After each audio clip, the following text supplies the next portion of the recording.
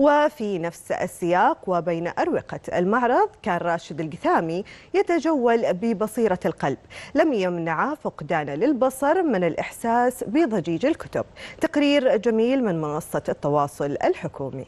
حسب الأضواء حسب الضجيج حسب كل الأشياء الموجودة. ضجيج يعني يزعجني دائما إلا في معارض الكتب.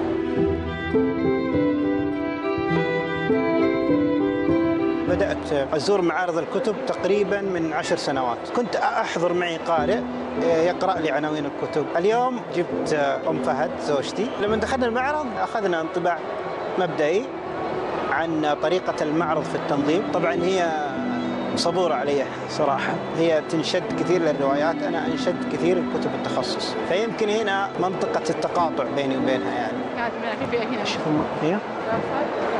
شوف هنا. اللي دار النوادر والدرر النشر والتوزيع. لا لا هذه حقت ودراسات تكوين. كتب شرعية. الناس اللي يجون معارض الكتب يدهشوني صراحة.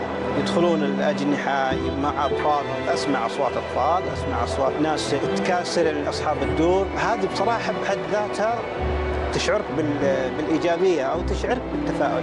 فأنا عادة أسأل مثلا أو أتفحص الأماكن بنفسي أدور عليها فهذا يعزز عندي طريقة التخيل. أدخل بعد الدور أقول لهم عندك كتاب معين؟ يقول لا مو عندي الكتاب. أحيانا أنا أعرف مقاس الكتاب لأني قد لمست قبل. أدخل أجيب لها الكتاب.